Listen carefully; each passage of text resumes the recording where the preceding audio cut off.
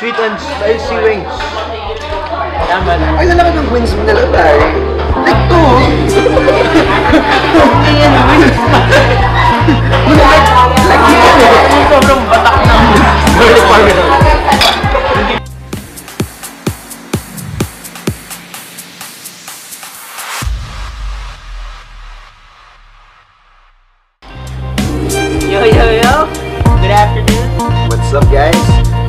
right here in Banawe, and we're here to check out Neighborhood Game Cafe. Thanks again to Zamato for inviting us. This is this is a game cafe, so board game, but there are also a lot of good food to eat here. So let's play some games, let's eat some food, and let's check things out.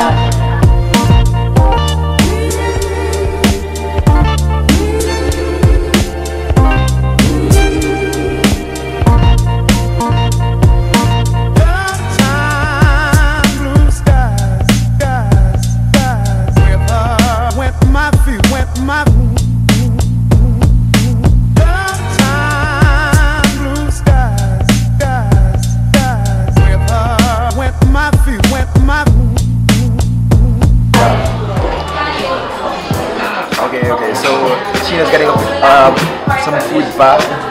Kakatapos na rin namin maglaro ng konting board games. Ngayon, baba natin na natin ang mga pagkain rito. Ano ko sa seafood stuff? Ah, Pati rin eggs pa. Pati natin lahat ba? Meron silang chicken curry sa neighborhood yan.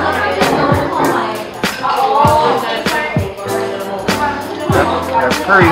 Walang spice. Hindi siya spicy. Lahat ng curry spicy. Kaya Enggak, enggak, enggak, enggak, enggak, enggak,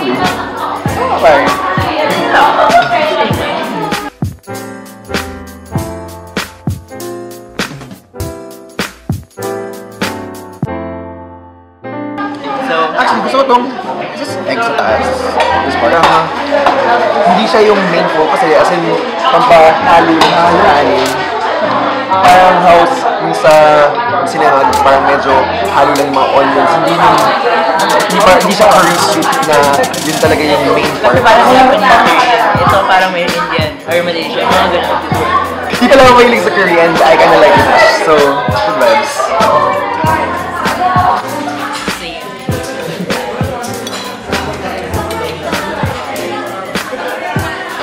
So next up, we're gonna go for the. Seafood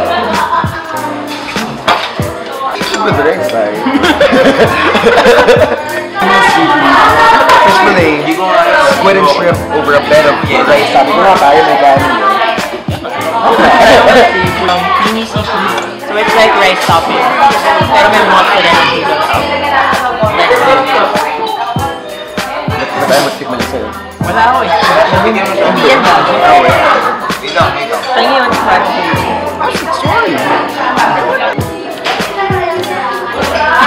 mo ako.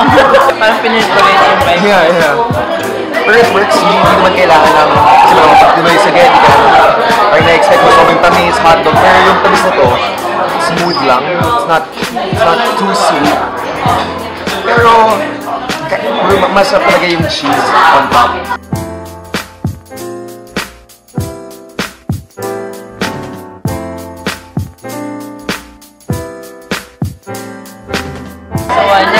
Taste the baked rice noodles.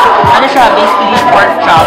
One pork chop on top of rice. Ano yung, ano yung I'm, not sure what the sauce is. Uh, uh, kalahati siya ng creamy. Like the creamy taste ng kanina. So medyo yung sauce niya with the pork chop. Yun lang yung difference niya. Seafood. May isang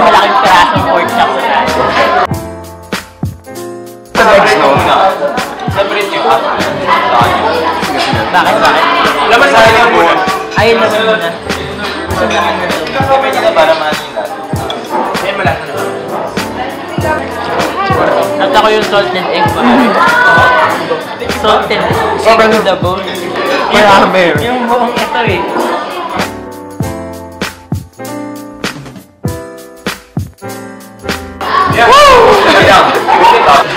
So next up is definitely this orange chicken.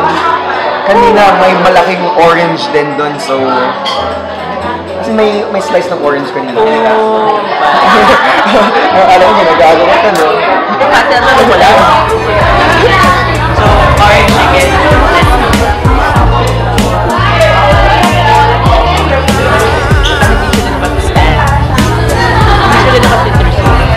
Kami siya eh. Bitcoin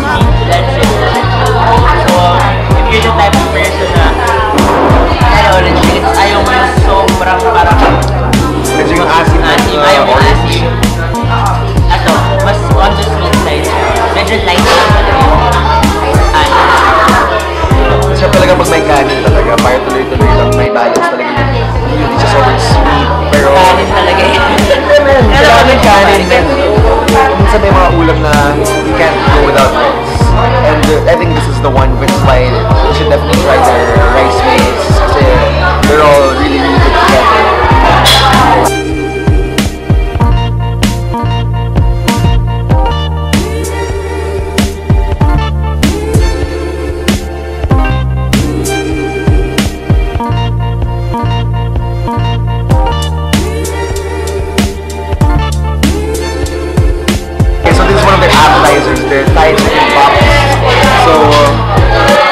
ano ba yung nagpapaka-Thai sa Thailand? Thai, Thailand. Thai. As in Thailand? Oo. Thai as in Thailand. Oh. Hindi Thai. Thai part. So, Naglalaro na kayo ng kung anong games. Tapos may, gusto may kainin pare. medyo pulutan lang talaga eh. So, ah, so, ah, sweet and spicy wings.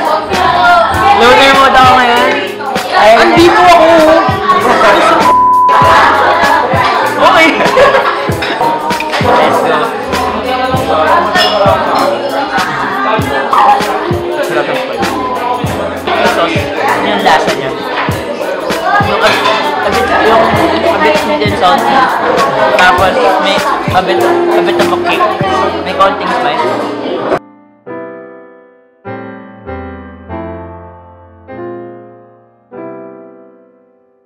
So next up, we have the garlic parmesan. Lahat na wings na so far dito, sobrang laki talaga.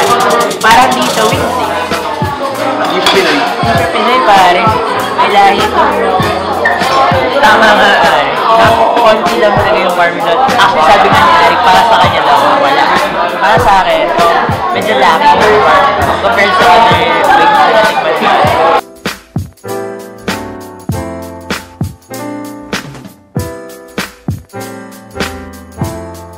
Some kinds of French toast. And yung isa ba French toast? Yeah, this is the hazelnut French toast and this is salted egg French toast. Yeah, hazel.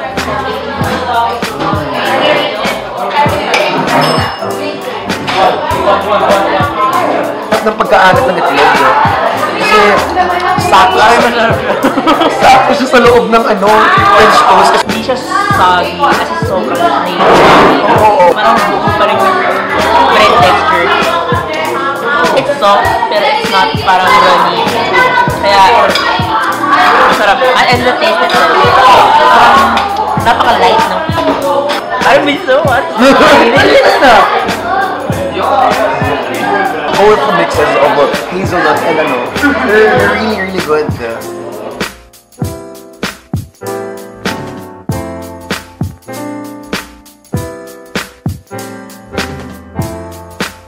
Ano to? Pagkain. Ayos, ano to ba nakain namin? Ah, nagtago ako bago na crepe with Oreos on top. Kasi ganito tamis. Ano tamis pero lasa masama pa rin yung matcha flavor. The last one we're gonna taste right now is the s'mores. S'mores! Nagwawala na sila sa background. Kami, kakabusog mo. Masyadong matamis. As in, asukal! it was really, really sweet. And uh, it was, it's a pretty good dish naman talaga. Kung sweet ka,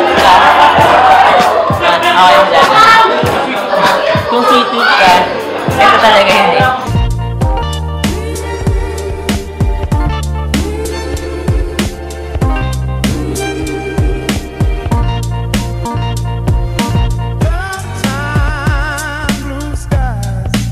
Okay, what's up, what's up? So, we played a few games, we ate a bunch of food. Sobra! Sober shit! Dami! Ito you're up waiting for the day, said, damn it, because una sa lahat, sobrang, you get so much food in the servings. They're so big for their friends ng Flavor. Sobrang, like, Parang napakadami. Yeah, we have the food. Remember the remember the seafood and the pork chop. There's so much flavor in that, and especially the desserts like the toast. Oh my gosh, the toast! Oh my, they were so great. I loved it so much. And the board games. You know what else? Marami, marami kayong oras to spend dito. Kasi so sobrang fun. You should really try and check this out. out. So much, Tomato, for bringing us here. We definitely stay, uh, stay a lot longer here to play a few games. Na because intense na games. We'll join them. So that's it for today. Renzo Ramirez, Chief of Pineda, Ron Fonte, Arik Mamaluk. Sarap. Yeah.